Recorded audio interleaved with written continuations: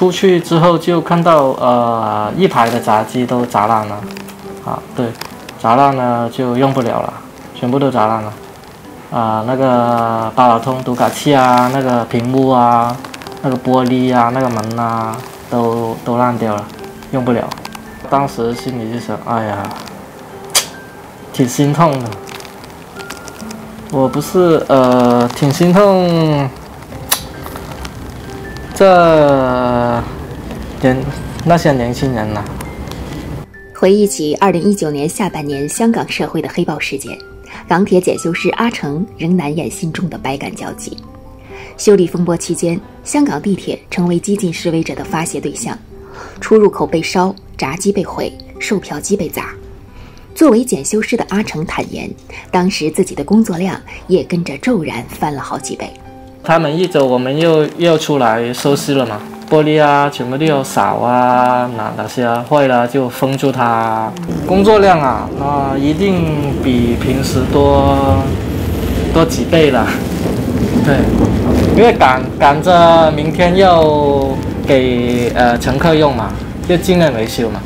它如果打烂了，只是硬件的问题，就有零件的话，我们可以换。但如果它有些是呃用那个水啊灌进去啊，那基本都用不了了，那全部都要换了，那个电线啊什么都要换，就是忙不过来啊，也也没想多少了，就修了一步就一步嘛。黑暴期间，暴徒猖獗，港铁屡屡遭难。但有市民发现，往往前一晚刚被毁坏的地铁站，经过连夜整修，又于次日清晨重新向市民开放使用。自此，港铁的自愈能力和香港效率一度受到外界称赞。但鲜有人知，这背后是检修工们的默默付出。二零一零年，阿成从电力维修专业毕业后，正式加入港铁。检修师这份工作，他一干就是十年。港铁白天人流量大，平日的检修工作也多在夜间进行。阿成的工作时间常在晚上十一点后到次日上午七点前。虽然辛苦，但他深知地铁对香港人的重要意义，便自觉一切值得。冬天像像现在这样的话，他晚上一般都是两三度这样的。在外工作就就比较寒冷，对香港人来说，应该是呃没有了地铁，就好像一没有了双腿这样吧。这些能让市民呃就是感到他让他们可以快速的回家呃上班啊，也是一种呃挺挺挺好的一件事。经常都都有乘客过来说啊辛苦了这样，就有时候听听这样一句话就比较有干劲了。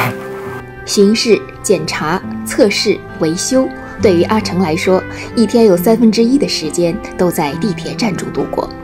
站台中的每部电梯、每台票机、每个闸口，都已如同自家家具一样亲切而熟悉。十年光阴如白驹过隙，阿成也通过一方小小的地铁票，目睹了港铁的发展。从一开始的车票是单一的车票。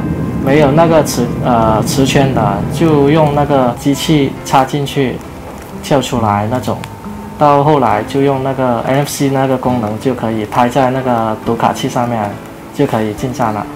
到现在的话，呃，就可以用那个手机支付了，就可以通过呃支付宝的二维码进站了。如今初出茅庐的毕业生已成长为一名熟练的检修师。在这名九零后香港青年看来，当下的香港年轻人应该承担起自身的责任，除了好好读书，站出来消解怨恨、弥补裂痕，为家乡做贡献，也是一份必不可少的责任。我认为香港的青年应该要对自己应该做的事情要做好嘛，做好自己的本分嘛。每个人都有每一个人的责任在嘛。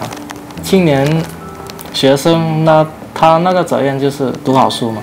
为将来打好那个基础了，走出校园的当然要啊，对自己的地方要做做出一种呃奉献呐，让这个社会不要那么多怨恨呐，也是一种责任来的啦。